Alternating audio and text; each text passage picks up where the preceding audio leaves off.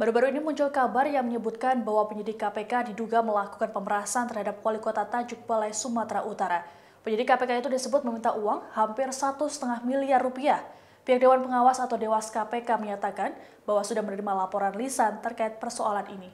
Dikutip dari Tribunnews.com, Ketua Dewas KPK Tumpak Pagabean saat dikonfirmasi membenarkan sudah menerima laporan terkait dugaan pemerasan. Kendati demikian, laporan tersebut masih secara lisan. Tumpak mengatakan Dewas KPK belum menerima laporan resmi soal dugaan pemerasan yang dilakukan oleh penyidik KPK. Namun saat disinggung mengenai instruksi yang dilakukan Dewas KPK terkait kasus ini, Tumpak tidak memberikan keterangan. Penyidik KPK itu disebut memberikan iming-iming bakal menghentikan kasus yang menimpa wali kota Tanjung Balai, M. Syahrial, dengan meminta uang hampir 1,5 miliar rupiah. Kasus ini butuh dari pengungkapan kasus dugaan suap terkait lelang jabatan atau mutasi di pemerintah kota Tanjung Balai, Sumatera Utara pada 2019. Sementara itu, Ketua KPK Firly Bahuri menegaskan tak akan mentolerir penyimpangan dan akan menindak pelaku korupsi tanpa pandang bulu. PLT juru bicara KPK Ali Fikri mengatakan pihaknya sudah mengantongi dua bukti dalam kasus suap lelang jabatan ini.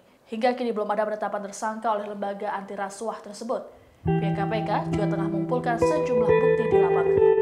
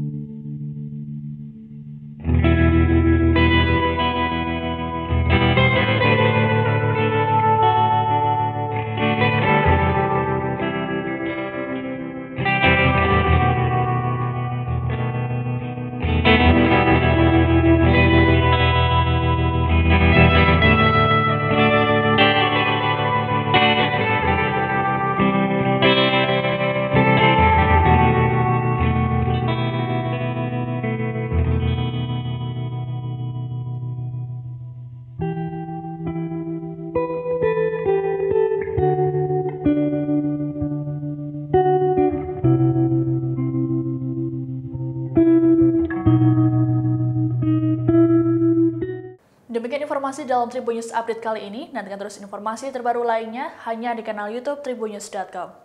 Terima kasih sudah nonton. Jangan lupa like, subscribe, dan share ya.